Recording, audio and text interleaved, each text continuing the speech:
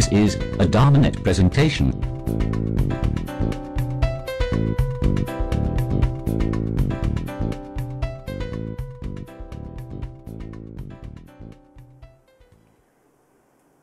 Okay, so for, um, for the talk this evening, uh, I want to uh, talk a little bit about thought.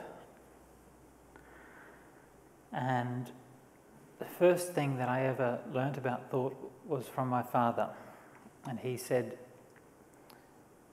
because, because whenever I do something wrong or break something or make some mistake, then I'd say, but I thought. I, th- I, th- I, thought that was, I thought it was like that. I thought you were supposed to stick your finger into the PowerPoint. and he'd say, you know what thought did? Thought wet his bed and thought his brother did it.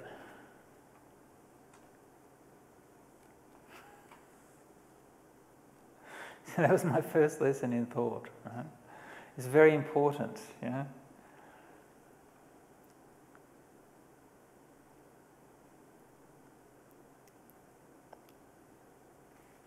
Because that's the, that's the basic lesson of Buddhism is that what you think is not necessarily the case, it's not necessarily the reality. And as these things go, sometimes you learn these things and it's kind of a joke or whatever, but then more and more you're going to go on in life, you more realize that there's actually something quite profoundly true about that. And I probably didn't really un- understand that kind of idea until I'd done my first meditation retreat. And I still remember this coming out of that retreat. And I went back to this guest house that I was staying in and just sitting in the guest house in the evening. And, you know, just people sort of gather, maybe they're going out that night or something like that, and gathering round in the evening before going out, maybe having a cup of coffee or whatever, and chatting. And I remember just sitting around with a group of people and just thinking, everyone believes their thoughts. Everyone has a thought and then suddenly it's them. Everyone's, everyone's so attached to what it is that they're thinking about. And that's what I'd learned on this. One of the things I'd learned on this retreat was to be able to just to step back a little bit and to realize that you're not your thoughts. And that's something which is very, very powerful.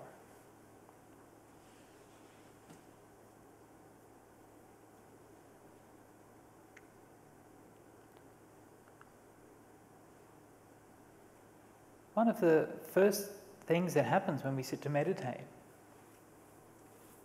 and you, this is such a common experience. People sit down, they want to meditate, they want to be peaceful, and they hear all of the Buddhist advertising oh, yes, you'll be peaceful and happy and let go. So lovely. And you sit down to meditate, and actually, oh my, it's like this kind of fiery rage of kind of anxieties and tensions and energies, and you, you, you never realized how much dukkha there is inside this, this, this, this body. Everything becomes more intense. And you're trying to meditate, and you're trying to say, Oh, I've got to watch my breath, I've got to do this, I got to, God, I can't stand this anymore.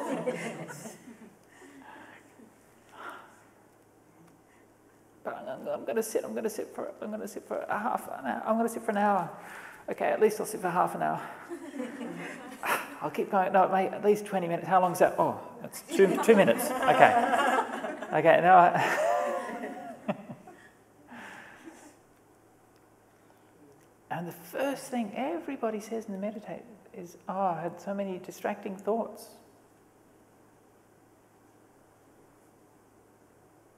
As if your thoughts are a problem.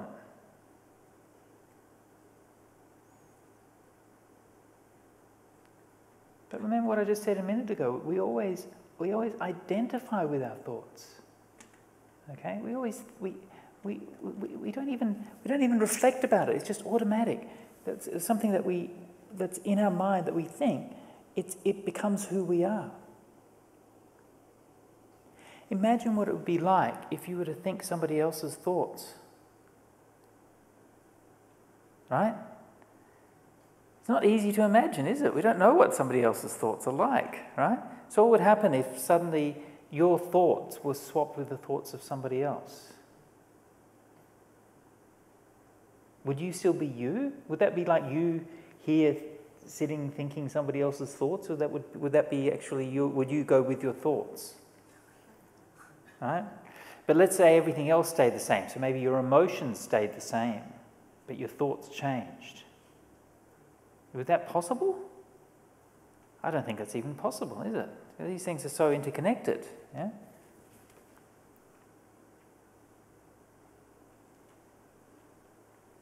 So, if, if it's really the case that we are so closely identified, so intimately believe in our thoughts, we think we are our thoughts, then if we're going to come and sit and meditate and, and we see our thoughts as a problem, then we've got an issue there. Because our thoughts are who we are. So we're a problem. Right? When you come and sit and meditate, immediately, I'm a problem. That's what it's become. I'm my thoughts, and so I'm a problem. I don't want my thoughts to be there. I don't want me to be there. How can I get rid of me? I'm dukkha. if only I could wipe all of these things out, put them somewhere else. But not completely, because I want to get them back a bit later right? so just put them in a drawer for a little while and let them just, uh, and then afterwards take them back and put them back in. Maybe we'll be able to do that in the future, I don't know. Maybe you'll be able to just sort of download your thoughts before you meditate, right? yeah, you can sort of make a backup of your thoughts and then just wipe your mind clean and then go and meditate. Ah, oh, that's very peaceful. And then when you finish, you can just put them back again. That'd be handy, wouldn't it? Yeah? So you can see if this, you can see this thing that if we make a if we make our thoughts into a problem, then we, we're like we're like stepping out on the wrong foot. We, we, we're starting out the wrong way in a meditation. So thoughts aren't a problem. Now, if we have a look at when Buddha taught the Eightfold Path, yeah, right view is the first one. The second stage of the Eightfold Path is right thought. Yeah, sammasankappa means like right motivation, right intention, right thought, something like that.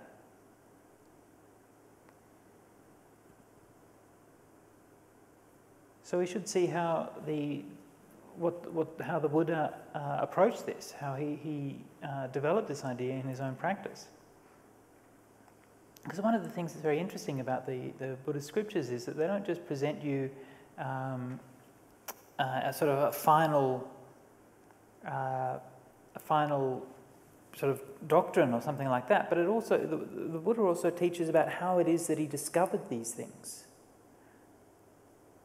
how he found out about these things. It wasn't, it's not obvious.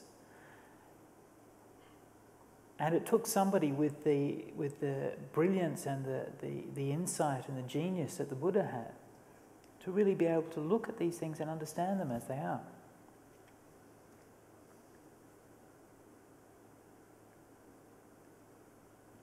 So one of the uh, uh, discourses where he talks about this is called the Dvedhavitakka Sutta, the, the two kinds of thinking.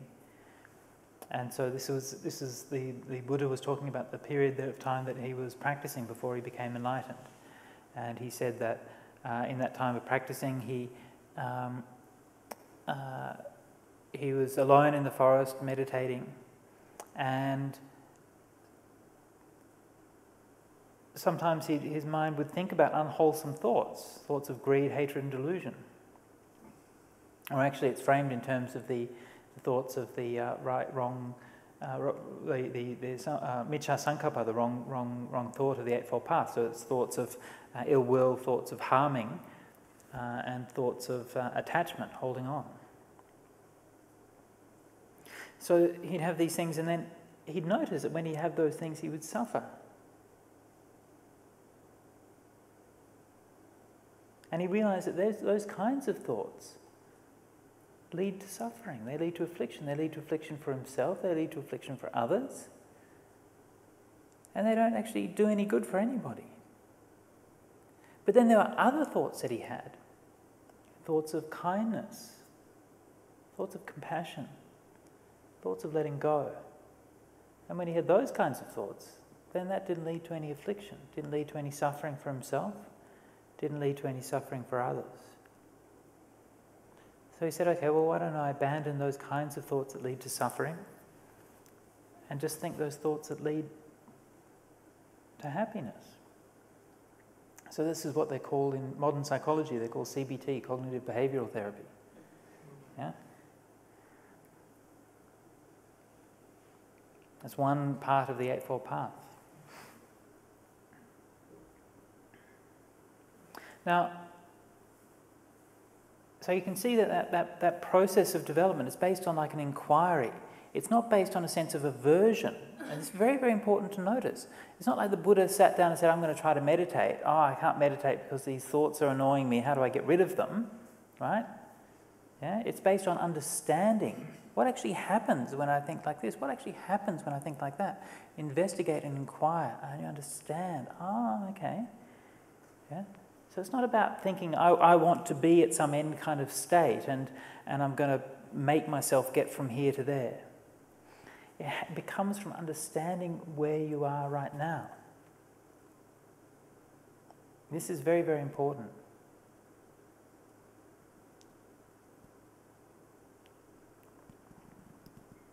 So, where you are right now, of course, is the present. Yeah? Often we use the phrase in Buddhism, the present moment. Ajahn Brahm wrote his book, present, present Moment, something, something, present moment. I don't believe in the present moment. I think the present moment's a myth.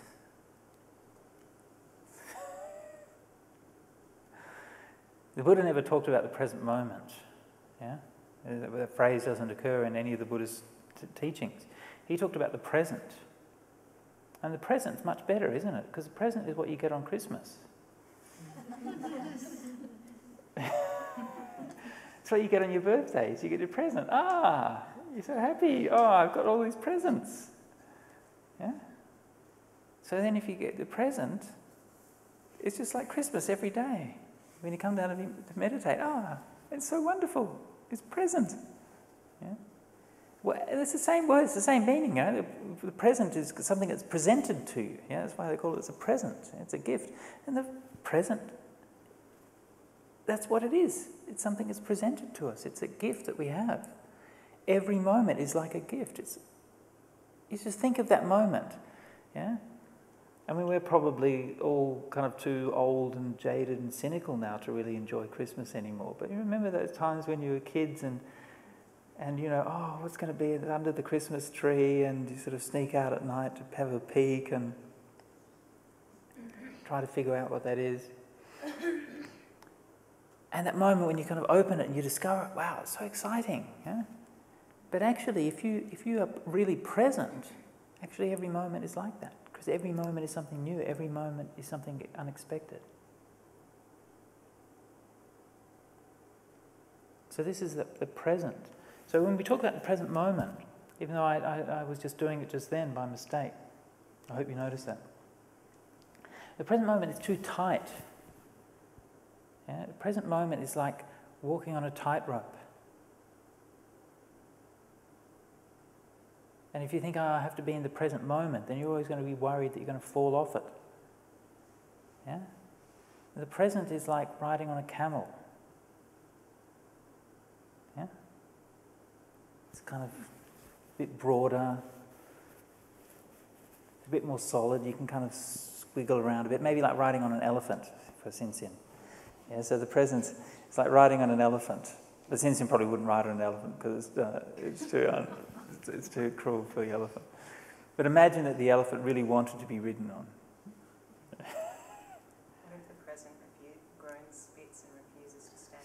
Yeah, then that's no good. Yeah. This is a nice camel.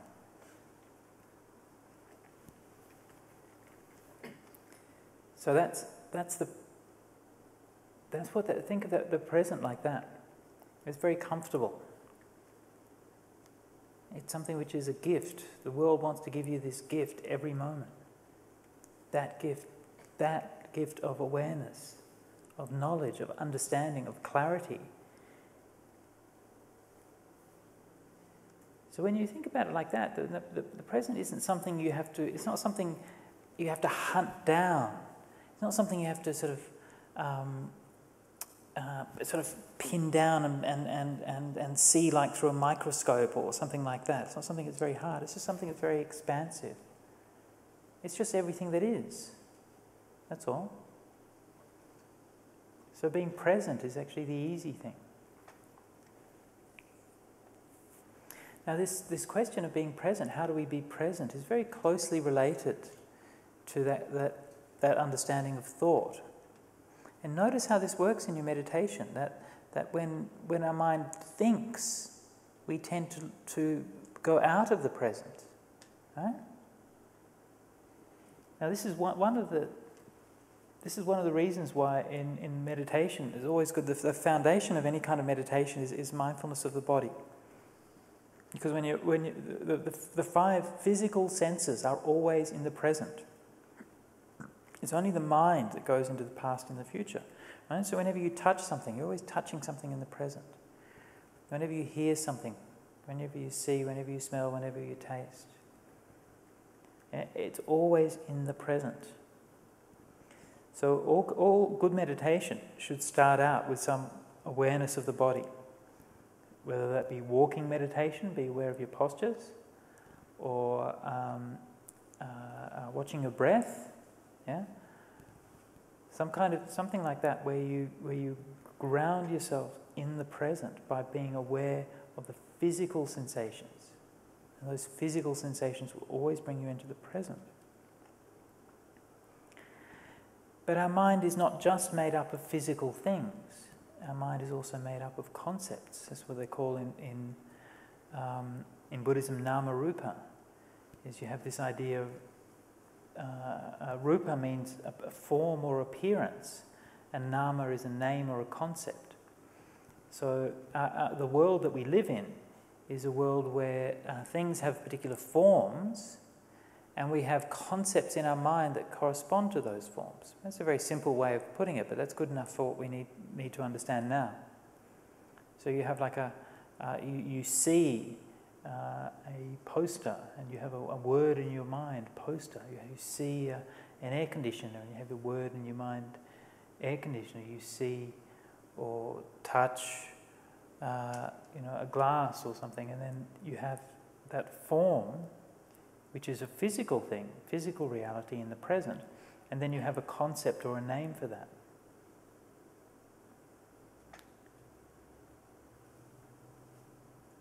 And the world we live in is the world which is made, made up of those things. And it's very important to understand that, that that ability to name things and to understand things through concepts is what enables us to make sense of the world. Names and concepts are not a problem.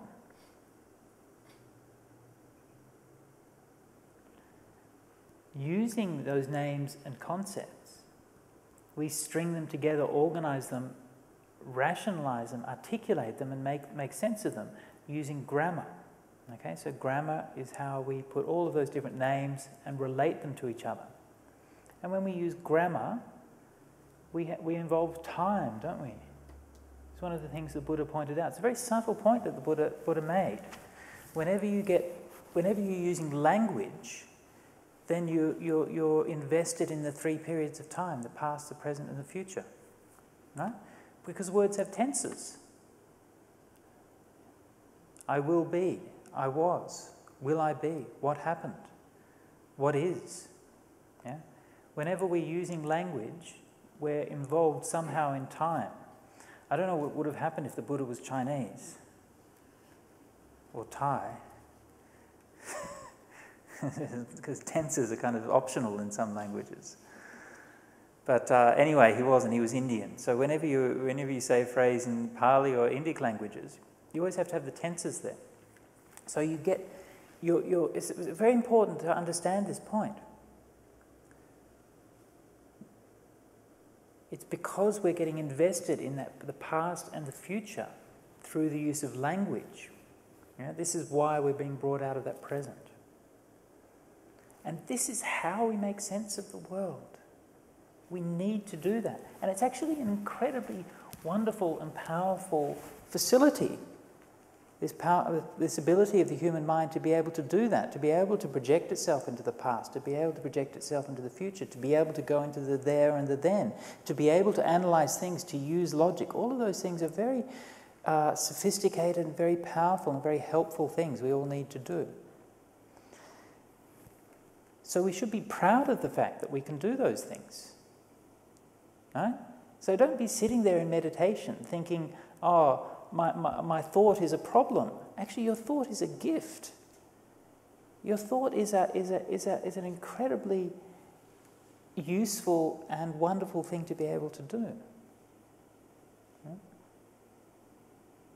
But there are even more wonderful things that you can also do. So the problem is not the thought, but the problem is because we get attached to it, we identify with it, and then we get trapped within that. We don't just use it for what it's useful for, but we also get trapped in it when it's not useful anymore. So Buddhas still think. One of the suttas, the Majjhima Nikaya, that it says that the Buddha uh, or an enlightened person thinks the thoughts they want to think and doesn't think the thoughts they don't want to think. Right? So it's not that they, if, if there was something wrong with thought, then they just wouldn't think at all, right? But sometimes they think about things, but only when it's useful. And then they stop. Yeah? It's easy, isn't it? You just think about what you need to, and then when you finish thinking about it, oh, okay, I've worked that out, I understand that now, now I can stop. That's not quite how it works, is it? Yeah? You keep on going even long after. Yeah? It's, it's exhausted its usefulness. You go around, even when it's actively harmful, then we still keep on going. Yeah? And then somehow we blame the thought for that. It's not the thought's problem. The thought's fine, but it's our own attachment to it, it's our identification with it. It's because we can't let go of it. That's the problem.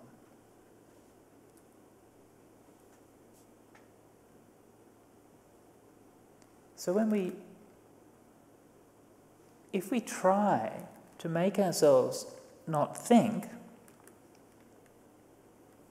then we're just going to have more aversion. We're going to be in a, in a space that, uh, where we, we, we don't like who we are, we don't like what we're doing, we don't like our mind, and we're going to try to get rid of it. And that's going to be very annoying and probably not very successful. So instead of that, bear in mind what the Buddha said with those the two kinds of thought, the wholesome thought and unwholesome thought. If you do, we all have those kinds of thoughts within us, right? They're not, they're not something which is alien. It's not something that only Buddhas have.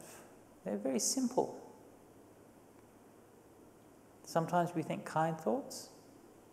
Sometimes we think harmful thoughts. So we have at least some measure of control over that.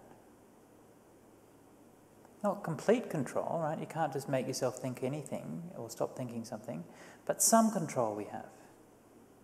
And so we can intervene and direct our thoughts in a wholesome way.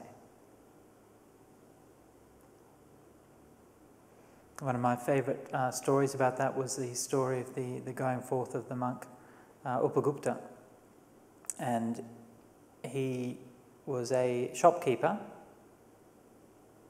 and every day one, there was another monk would come for alms round to his shop, and he would give him some alms, and then he, he the monk was called Shanakavasin, and then he wanted to, uh, Upagupta wanted to go forth, and uh, Shanakavasin said, no, no, you're not, you're not ready. Then he said, well, how do, what do I do? How do I train myself? I, can't, I don't have time to meditate. I'm working here every day in my shop. And he said, okay, uh, we'll get two piles of stones one pile of black stones, one pile of white stones, and you keep them on the counter of your shop during the day. And whenever you think a thought of greed or hatred or delusion, then you take a black stone and you put it in the pile. And whenever you think a thought of kindness or letting go, then you take a white stone and you put it in the pile. Gee, this is perfect. Hmm. You can do it. We can do it, yeah, exactly. No, it's not too hard.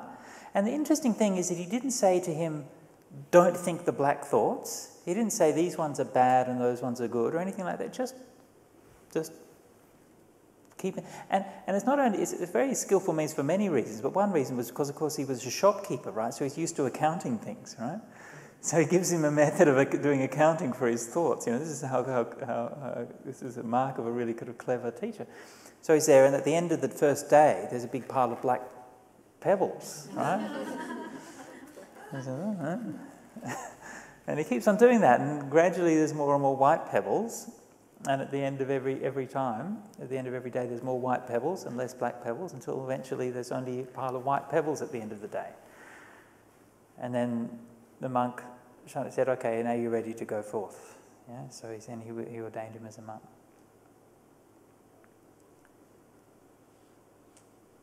So if we, if we understand like that, and if we use, use that way of, of training, then you can see that, that this, is, this is much more kind of gradual.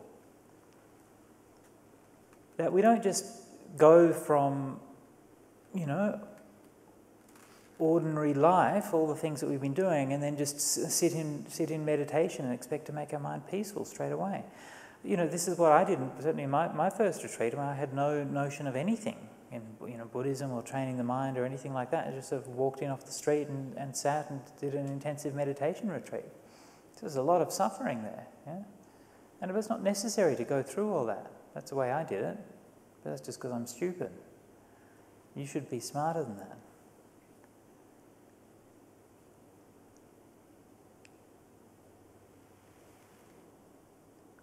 Imagine what it would be like if you actually did that. Imagine what it would be like if you trained yourself so that uh, all that there was in the mind was thoughts of kindness, compassion, letting go. Yeah? And then you sat down to meditate.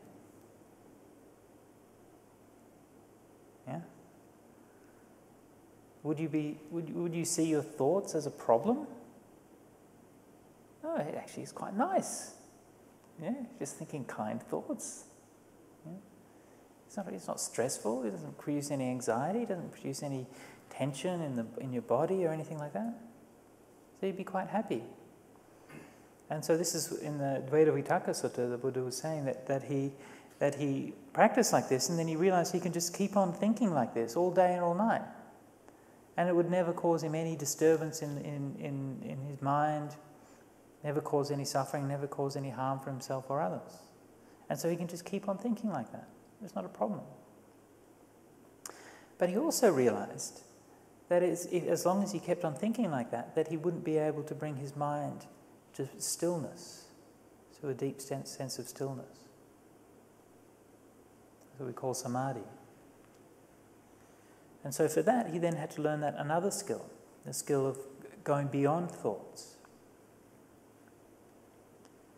So it's very important to notice this, this progressive aspect in the teachings. And so often we try to ignore this and we try to jump over all the earlier stages and we get to the final stage and sort of bash away at the final stage. We're going to, we're going to, you know, the final stage of the Eightfold Path is right samadhi. Right? So we think, oh, we're going to go on to retreat and then sort of bash our head against a meditation object for, for a month or six months or something, and we've ignored all of the other parts of the Eightfold Path. And then we wonder why it's so difficult. we say, we say to the meditation teacher, Oh, meditation's so hard. Meditation's not hard, meditation's easy. Meditation is just a cause and effect. Right samadhi is just what happens when all of the other factors of the Eightfold Path are there. It's no harder than, than, than it is for a, for a flower to grow from a seed. Just a flower saying, Oh, it's so hard to grow. oh, it's such a hassle having to be blue, you know, or yellow. I have, you know, every time someone looks at me, I have to be yellow for them. You know, oh, it's such a hassle. And round. You know, it's just cause and effect. If the seed's there and the ground's there and the, the water's there and all the conditions are there, it's just what happens naturally. So if the, if the conditions are there for the Eightfold Path, then it's just natural. Your mind becomes peaceful. It's not hard work. If it's hard work, you're doing something wrong.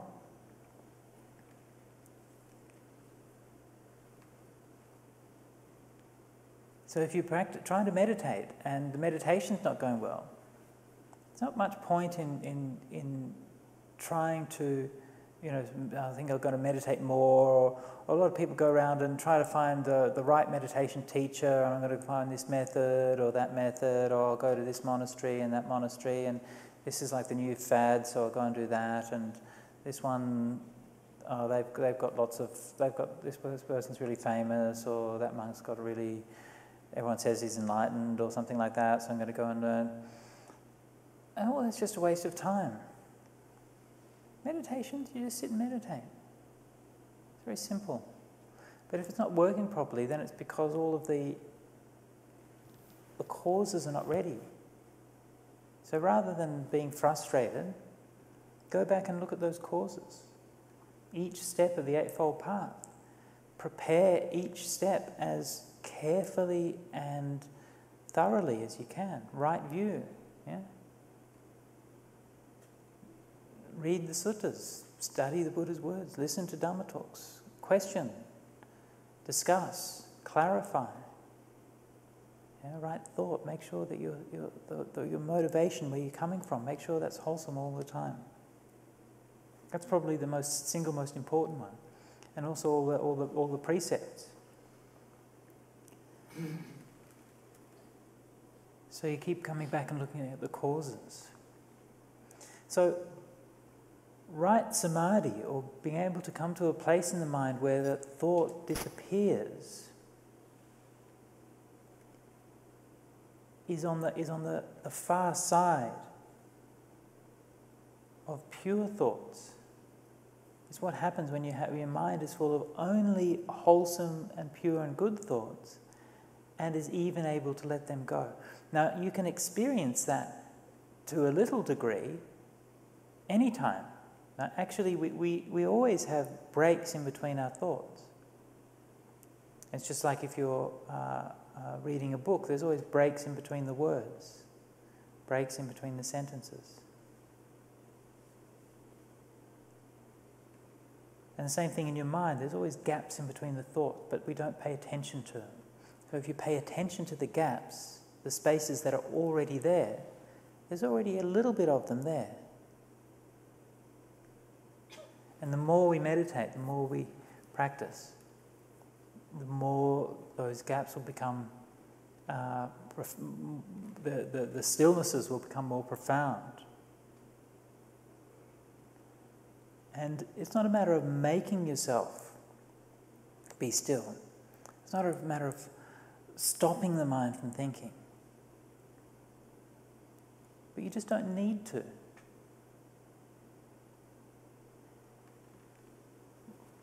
You don't identify with the thoughts in the same way. If you are your thoughts, then what happens when the thought finishes? That's one of the deepest insights that you can have in meditation. What is that when there is no thought? There's nothing. I am a name. I call myself Sujato. But what happens when there's no names? There's no naming, there's no language. And because there's no language, there's nothing to, to go into the past and the future. Only the present is left. But that kind of present is a very different kind of present than the present I was talking about a little while ago when I was talking about the, the physical present. Yeah?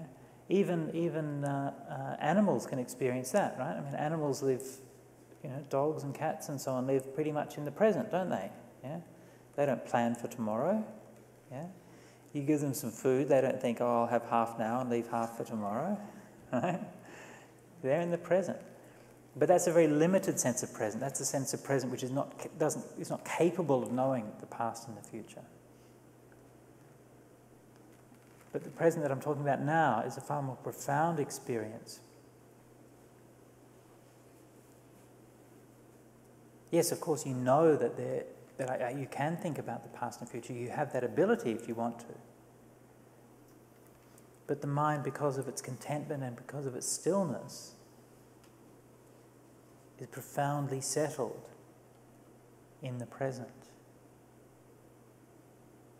So that the past and the future just disappear. So the more primitive form is that the past and the future are there, but you just don't know how to get there. You don't know what to do with it. And then when you develop your mind to, to learn how to think properly, then the past and the future are there, and you do know what to do with it. You can think about them and reflect on them. And this state that I'm talking about now, the past and the future are just not there anymore. They vanish. And the present is all that's left. So that present is very far from being a small thing. That's the present the Buddha described as vipulam, as vast, exalted, grown great. That's the present, which is everything. It's the very smallest thing, and yet it's the very biggest.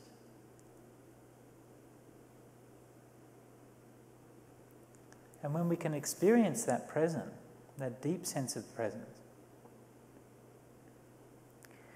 when we, then we can let go very deeply of that sense of self and that sense of attachment to our thoughts, to our uh, identity, to who we are.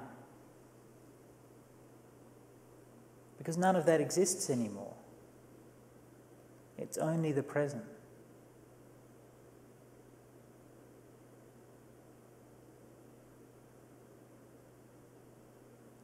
So once you've had that kind of experience, and it's a kind of experience that everyone can have, at least to some degree. The deeper you meditate, the more deeply you'll, you'll see it, the more deeply you'll understand it. And when, when you've had that, then that is always there. That's always something that you can come back to.